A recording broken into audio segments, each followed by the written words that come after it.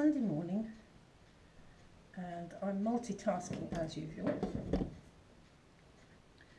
I'm making cheese straws and I've made them all wrong. Used a bad technique, an old technique for rolling out. And the reason for that is that I didn't have my mind on the job.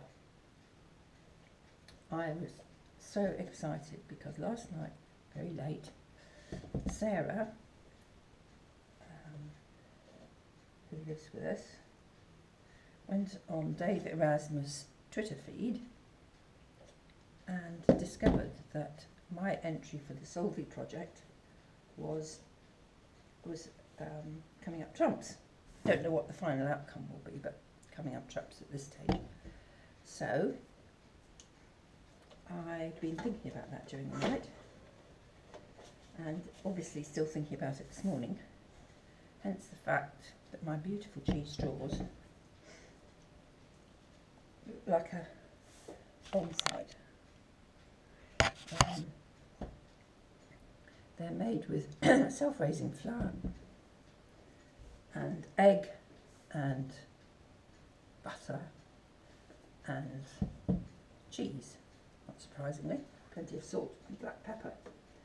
Um, and people really love them. Very useful for a starter. I've got my next interviewee coming for lunch, so I've got to get this done. But you can see the mess I'm in. Incidentally, they've been brushed with egg, which is a local egg, so it's really bright yellow. And our local butter is a similar colour. It has no extra colouring in it. That's just the way it is. I think that is phenomenal. And I'll find you a bit in a minute. Oh. I've now got flour all over the GoPro,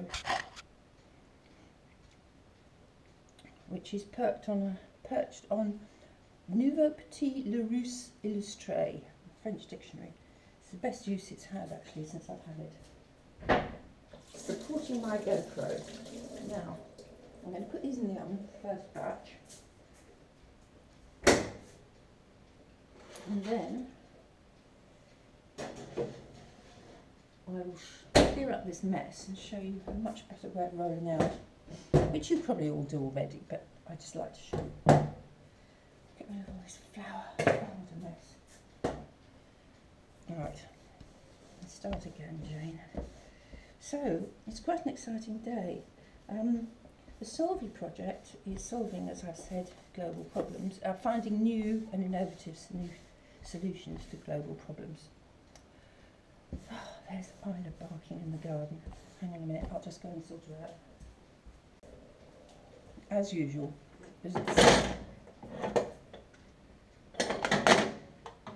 as usual, there's several things going on in my head at once, so it's a little difficult to follow. Right, we're going to get some baking roll, baking paper.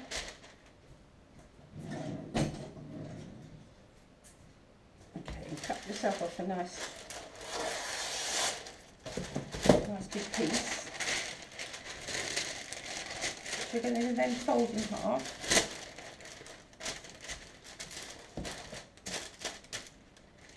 Oh good, Isla's coming here now. She knows that I'm a bit of a messy baker, so she's going to find stuff on the floor.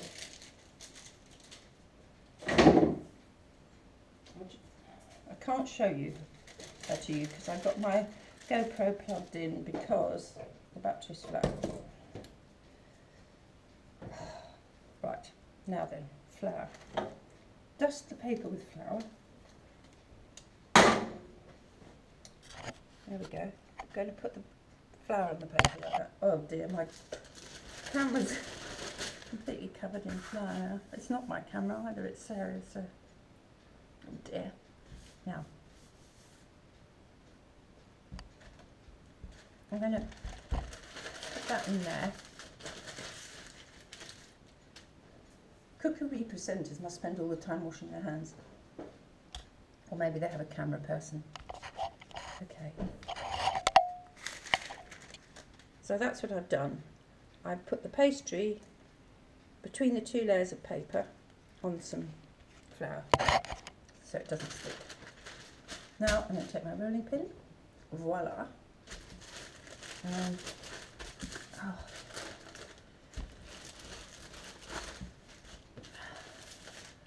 roll out. Now, see what it looked like before? It looked like a chaotic disaster. Now, it's looking much better. Because you want to roll this out really, really thin. So that that's what makes the cheese straws so yummy. Brush it with beaten egg. I really can't brush and show you, so you'll have to believe me that this is what I'm doing. And so I've only got one flowery GoPro camera, which is actually attached to the wall because I've let the battery go flat. So anyway, it doesn't stop me being excited about this project. Um, my idea is that older people like us could be backing up the youngsters who are out doing having cutting edge projects with innovative, ideas solving global problems. We have got the experience in the years we've lived. We might have a bit more time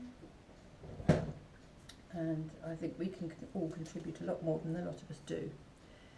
Right, now I'm going to cut this, these cheese straws. I like them to be all different sort of shapes and sizes this. I'm not sure it's got a proper name, but I don't know what it is. But that stops it dragging the cheese straws. I'll try and show you. See, I'm cutting it like that. Oh. My goodness. The only trouble with a picture like lens is that it probably picks up something in the back of the picture that you don't want people to see. Right. I dirty linen or anything. Or suitable things. Shut the cupboard, do you know what's in there.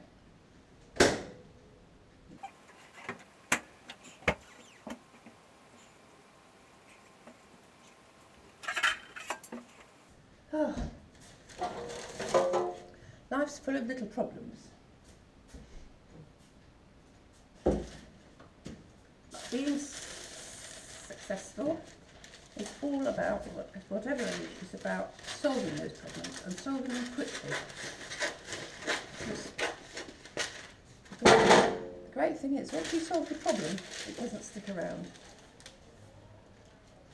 So, That particular problem was that the baking tray I wanted was right at the back of the bottom shelf of my cupboard and my knees still not right from having fallen over several times last week. Going to disabled meetings as I recall. Meetings about disabled. Was rather a good example. Anyway um, trying to get down on your hands and knees when both kneecaps have been very thoroughly grazed is not nice, or not even possible in some some Anyway, I'm going to get these things. I'm sure you're not supposed to eat the mixture. Know, it's got eggs in and stuff, but it is so yummy. You just have to. Oh. Right. These are so thin that they are actually sticking to the paper. But you see, that's real life. When people do it on these perfect television programmes of cooking, I just can't believe they've actually managed to do that. This is real life cooking. This is as it happens. It's a chaotic kitchen. But the thing is that the net result is absolutely fabulous. Oh, here's my husband. He's wondering why I'm talking to myself. Oh, bother. Right. You're very welcome to come in range, Mike, and feature. In fact, it would be nice to see you, because your nose is it's the only bit that's featured yet. Oh, I can smell those um, cheese straws. I'm going to have, have examine the other, which is on at number six. I'm sure there's some way I can give you this recipe, so I'll investigate that in a minute. Now,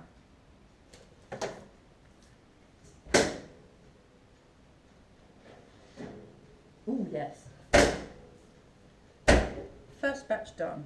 See, that's only, I haven't fast forwarded, it's only a sort of six or seven minutes, and they're all ready to go. To be I mean. Now I'm going to put another lot in.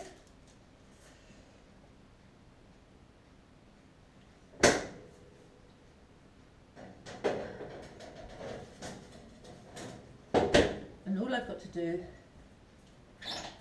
Right, do you want a cup of tea? Right.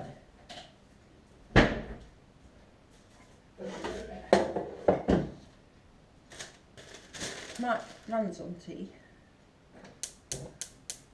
I've been trying to give it up. Low caffeine and stuff. I only, if I'm drinking tea, it's generally an emergency.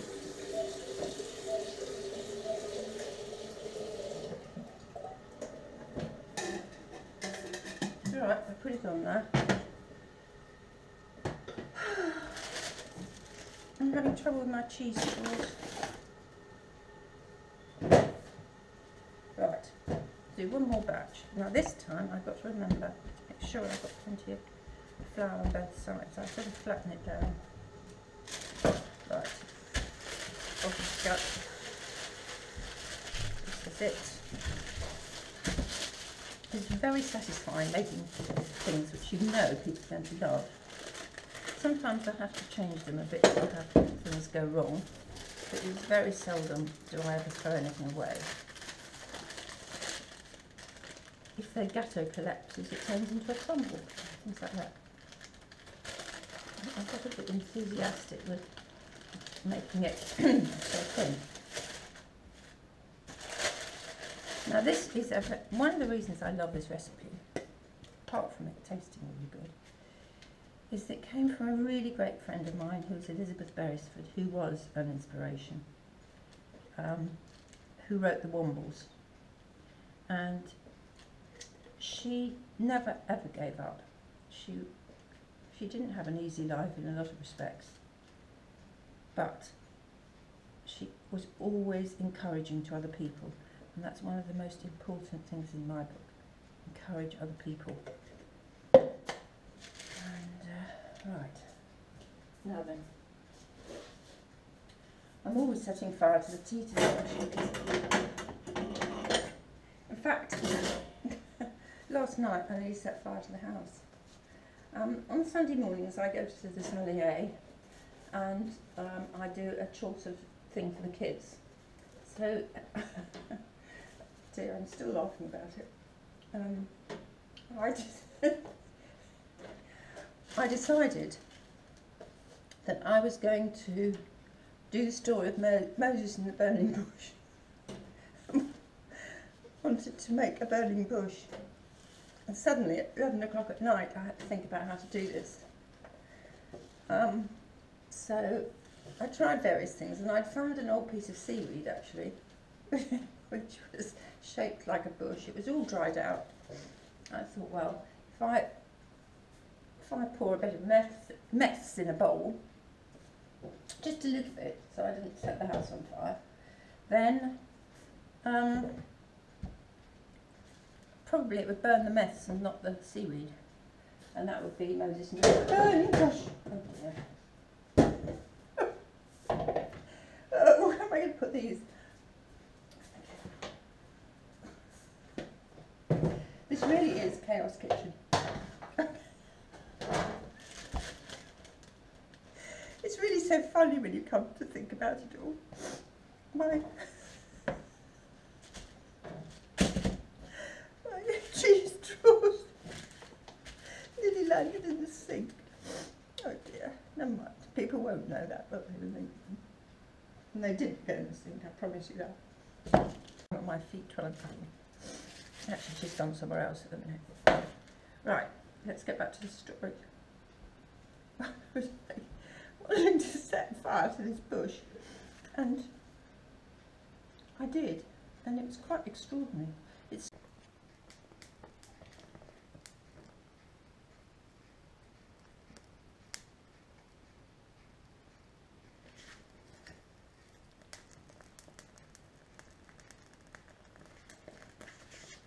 sort of all expanded in a way that I hadn't expected. In fact, it worked really well. The trouble was that it worked so well. There's not much of the bush left.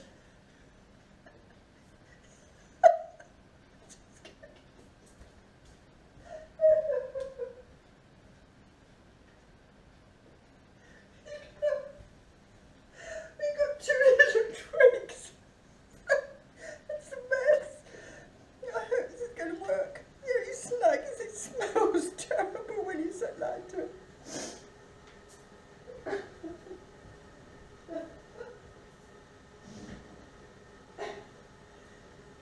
Poor Sarah. Poor Sarah came rushing out of her room saying the house was on fire. Moses in a burning bush. Oh dear. What a palaver. I'm so successful. Oh, well, if it makes people laugh, really, it doesn't matter. Anyway, we'll see how it goes. I'm afraid that I may not be invited back after this week to the Salvation Army because if I make the amount of smell I made last night in our house, mind you, that was a whole, that was a whole bush. I've only got two twigs left. Come on, calm down, Jake. That's not. We must get things under control here. Oh, right, come on. Cup of tea for Mike. Another lot of cheese straws in the oven. I continue to think what I'm going to do about this Selby project. How I can maximise my advantage. I would love to set this up. Maybe you can comment underneath the video if you could help out in some way. If you're an accountant, you see, they might need accountancy help, or if you're an engineer, they might have an engineering problem that you need solving, you know, out in Africa or wherever these projects are being done. You've got the expertise and possibly a little bit of time. Right? Mike's tea. Net result. First lot of cheese straws. They're not EU standard, they're just as I made them, but they will be yummy. Now onto the great vanishing Malteser cake, which is the best cake of all time. Um, I'm supposed to be able to do it in seven minutes. I'm not sure I shall do that this morning, but we'll give it a go. First I have to find the recipe. So I've got butter and syrup to melt in a pan.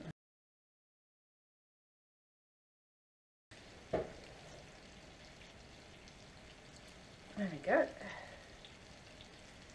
Get that melting down in the pan there.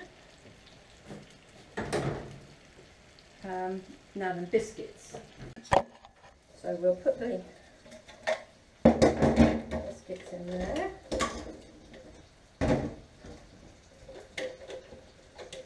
I still haven't unpacked my shopping because I'm in a bit of a... Everything's a bit time critical this morning because I forgot to do the shopping yesterday and in Alderney the shop's shut at 6 and that's it. Biscuits in there.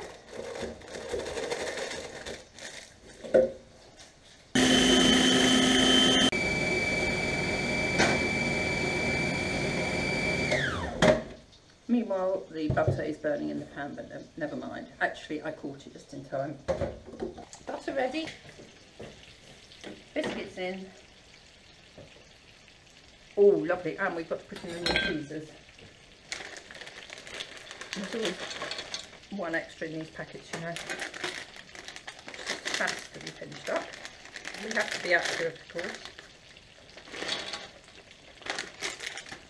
Now, now stirring all this into the mix. And we stir it until just have a look at these garlic mushrooms that I'm doing next door to it. Because as I say I everything's a bit time critical this morning. It's half past nine.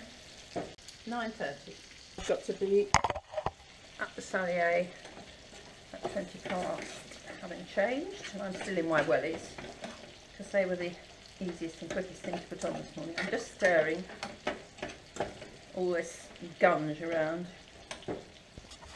in here. It doesn't look promising but I promise you the finished product is amazing. Oh, oh yes and I've got the, the tin I was going to put them in, not the tin. Favourite plastic baking dish has got in the remains of what I made yesterday, which I have to say doesn't look very pretty, but was absolutely great to eat. But I have to keep it in the freezer because it's a bit wibbly wobbly.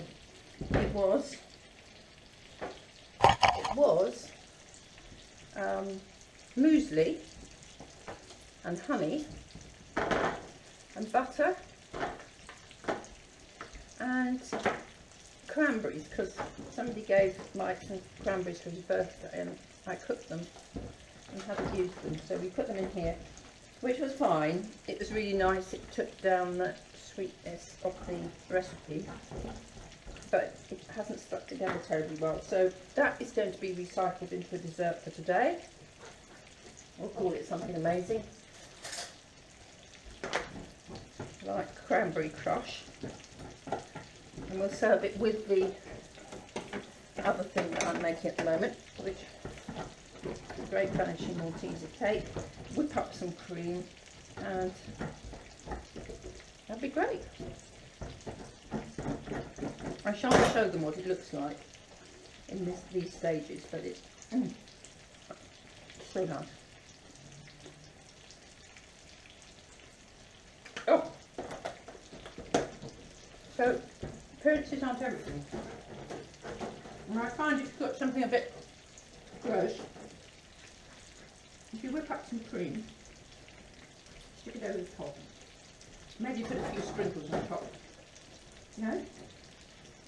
Brilliant.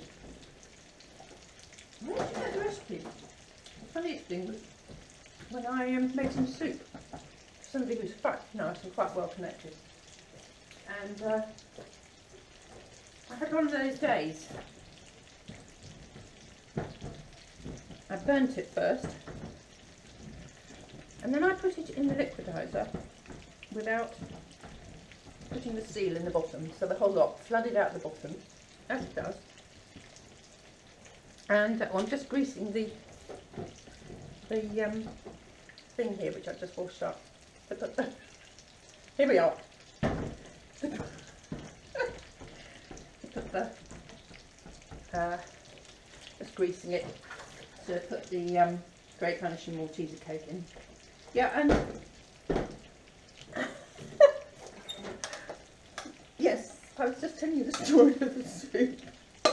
And the soup flooded out on a worktop, so I shoved it all back in, what I could catch before it dripped on the before it dripped on the floor. Um, and I put it back in the saucepan and I tasted it and it actually didn't taste too bad. Um, I put in some smoked paprika because that's always useful for covering up things. Served it with cream and everybody was saying, oh Jane, can we have the recipe? Well, no, they really couldn't. It had been a rather, it had been on a sort of adventure before it got to their plates. But see, it's amazing what you can pull out of a basket um, yogurt's great if you put in too much pepper. Now, this horrible looking affair is going to go into the freezer, so it's nice and ready for lunch. And I, before I serve it, I shall melt a significant amount of chocolate, bar of plain chocolate, a couple of bars of plain chocolate, and pour it over the top. And I'll tell you, yummy. I might even film the reaction, but I might forget, depending. One of those days. I've just decided to make a little um, modification to my Great Vanishing Malteser cake. I'm sure this is not the way to do it, but Sarah loves cherries, and so do I, incidentally. And what I'm going to do is I'm pressing them into the already made cake. Now this is totally out of the rule book, but this is what I mean about being creative, doing things differently. You don't actually have to always do the thing according to the book. So it's going to be really interesting to see how this turns out. I have to put on lashings of chocolate to cover up all these little bubbly bits. But this should be just something else. I've put the chocolate on. I've put it on the high side of the cake on the dessert and I'm going to it doesn't seem to be running off too badly I'm going to stick it quickly in the fridge and hopefully um, that will cause the chocolate to set quickly before it drips off the top